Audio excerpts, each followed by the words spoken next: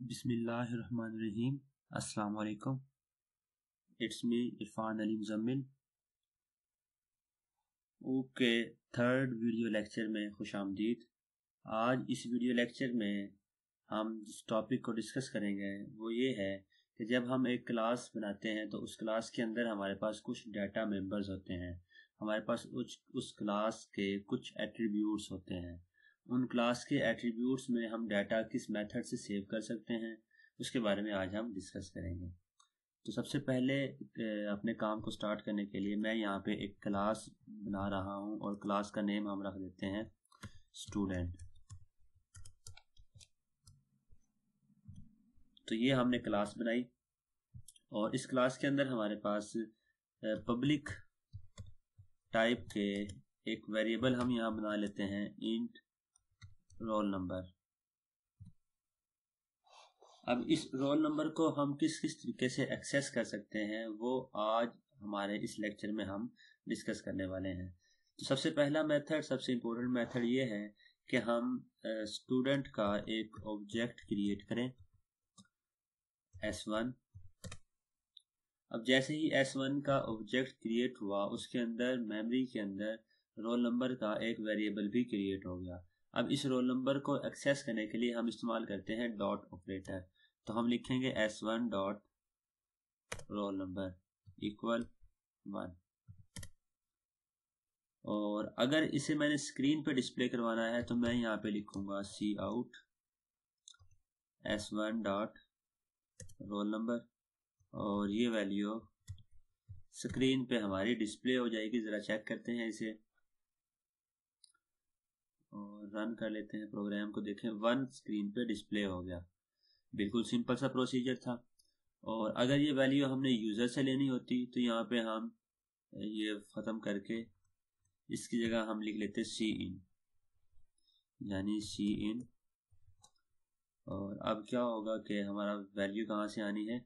User के पास। जैसे मैंने वैल्यू दी इसको टेन तो आउटपुट में भी मेरे पास टेन शो हो गया। ये वो काम है जो हम लास्ट क्लास में सीख चुके हैं।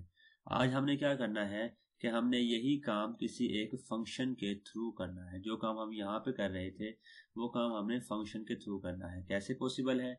जिस क्लास में हमने ये वेरिएबल बनाया था, हम इसी क्लास में जाके एक फ़ंक्शन बनाते हैं वाइड और उसका नेम मैं रख देता हूँ सेट वैल्यूज़ ये मैंने एक यहाँ पे फ़ंक्शन डिफाइन करना है। फ़ंक्शन का नेम मैंने रखा है सेट वैल्यू टाइप उसकी वाइड है, और जब हम इस फ़ंक्शन को कॉल करेंगे तो हम इससे इंटीजर टाइप का एक वेरिएबल पास करेंगे, एक वैल्यू पास करेंगे, जो आर के वेरिएबल में सेव हो जाएगी, जिसे हम नाम देते हैं हमारे पैरामीटर का। अब क्या करना है, हमारा असल वेरिएबल तो रोल नंबर था तो इस वेरिएबल में हमने वो वैल्यू जो हमारे पास यूज़र से आनी है आर में वो हम स्टोर कर देंगे। कैसे? इसी तरह अगर हम यहाँ पे देख सकें एग्ज़ाम्पल में कि इधर हमने क्या किया? एक वेरिएबल क्रिएट किया एस वन का। एस वन का अब हमने एक फ़ंक्शन कॉल करना है। नेम क्या है? उसका सेट वैल्यू और मैं यहाँ पे इसे पास कर देता हूँ। सपोज़ सेवेंटी अब इससे क्या होगा कि जब मैंने इस फ़ंक्शन को मेन में कॉल किया तो मैंने इसको सेवेंटी पास किया। अब ये सेवेंटी यहाँ से कॉपी होके हमारे इस वेरिएबल आर में आ गया। तो आर में अब क्या सेव है? सेवनटी सेव है। अब ये आर की वैल्यू कहाँ जा रही है? ये सेव हो रही है रोल नंबर में। तो अब यहाँ पे रोल नंबर में क्या सेव हो गया? सेवनटी सेवनटी कहाँ से आया? इधर से। तो इस तरीके से हमने हमारे इस वेरिएबल में वैल्यू को सेव कर दिया। अब इसको अगर हम स्क्रीन पे प्रिंट करवाना चाहते हैं तो हम यहाँ पे चेक करेंगे एस वन डॉट सॉरी हम लिखेंगे C out S one dot roll number check करते हैं कि क्या सेवनटी इसमें सेव हुआ या नहीं। जब हम इस प्रोग्राम को रन करेंगे तो देखें स्क्रीन पे हमारे पास सेवेंटी शो हो गया। अब ये स्क्रीन पे आउट करवाने वाला काम भी हम फ़ंक्शन के थ्रू कर सकते हैं। तो यहाँ पे आके हम एक और फ़ंक्शन डिफाइन करेंगे क्लास के अंदर और हम लिखेंगे वाइड और यहाँ पे हम इसका नाम रखेंगे शो वैल्यू से कोई पैरामीटर पास नहीं किया और यहाँ पे आके जस्ट हम लिखेंगे सी आउट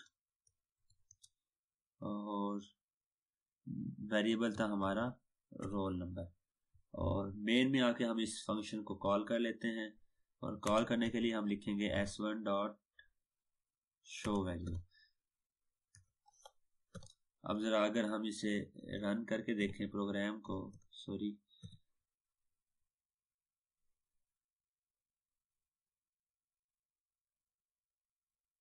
पे गलती क्या है? और सॉरी हमने दो बार शो लिख दिया। यहाँ पे हमने शो लिखना था।